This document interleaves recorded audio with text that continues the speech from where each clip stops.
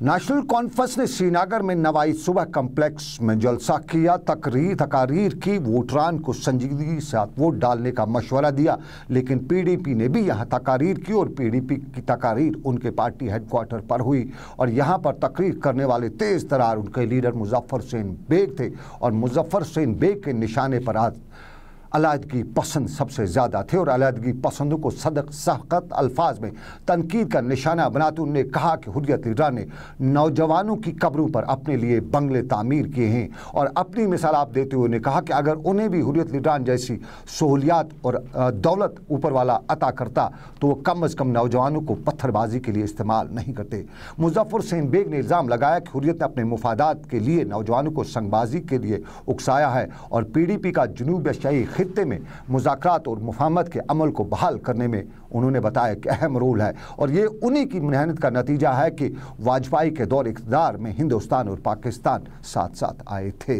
PDP के यहाँ नामजद उम्मीदवार नज़ीर अहमद खान ने यह भी बताया कि वो नौजवानों की ख्वाहिशात का एहतराम करते हैं और चाहते हैं कि सियासी महाज पर नौजवानों के जज्बात की तर्जमानी हो सके। नज़ीर अहमद खान ने अपनी तकरीब में नेशनल कॉन्फ्रेंस को तनकीद का निशाना बनाते हुए कहा कि जमात ने बार बार कश्मीरियों के मुफादात को जख्म पहुँचाया है। और कभी कभी नमक तो कभी कभी सब्ज़, हिलाली, रूमाल लेकर कश्मीरी को बहलाया और फिसलाया है। और हमेशा से अपनी पार्टी और अपनी कुर्सी के लिए कश्मीर के मुफादात का, कश्मीरियों के मुफादात का सौदा किया है। यहाँ इमरान रज़ा अंसारी भी थे और इमरान रज़ा अंसारी पिछले दिनों लग, से लगता था कि कुछ कुछ सियासत ही नहीं पी डी पी से दूर और वजारत से दूर होते जा रहे। लेकिन यहाँ वो भी उनके साथ थे और उन्होंने मुजाकर और मुफामत का अमल शुरू कराने के लिए साजगार माहौल की ज़रूरत पर ज़ोर देते हुए कहा कि पीडीपी इसके लिए कोशिशें कर रही है और पीडीपी ने भाजपा के साथ जो अलायंस किया है, वो एजेंडा ऑफ़ अलायंस के तहत हुआ है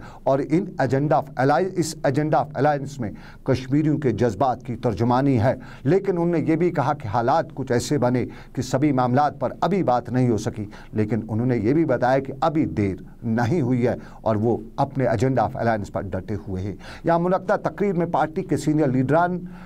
सईद अल्ताफ़ बुखारी, नईम अख्तर, ग़ुलाम नबी लोन, हंजूरा एडवोकेट उबला खान आज के नकाश खुर्शीद आलम और डॉक्टर शफ़ी और दूसरे कई लीडरान ने भी तकरीर की। और यहाँ मीडिया से बात करते हुए नज़ीर अहमद खान ने यह भी बताया कि पिछले इंतबात में उन्होंने इसम्बली इंतबात का उन्हें हवाला देते हुए कहा कि उन्होंने उमर अब्दुल्ला को हरा ही दिया था, लेकिन तब बकौल उनके दिल्ली उमर अब्दुल्ला पर मेहरबान थी और अपने हार के दस मिनट के बाद ही उमर अब्दुल्ला के हक में दिल्ली ने हैरान कन ऐलान भी करवाया। और उन्होंने कहा कि तारिक हमीद करा के कांग्रेस कांग्रेस में जाने से कोई फ़र्क नहीं पड़ता है, क्योंकि सियासत में लोग आते और जाते हैं। और पिछले इंतबात में उन्होंने बताया कि उन्होंने छब्बीस हज़ार वोट हासिल किए थे और उसमें कांग्रेस का कोई वोट नहीं था, क्योंकि वो तेईस हज़ार वोट उसके अपने वोट हैं। और आज की डेट में वो तेईस हज़ार वोट एक अहम रोल अदा करेंगे।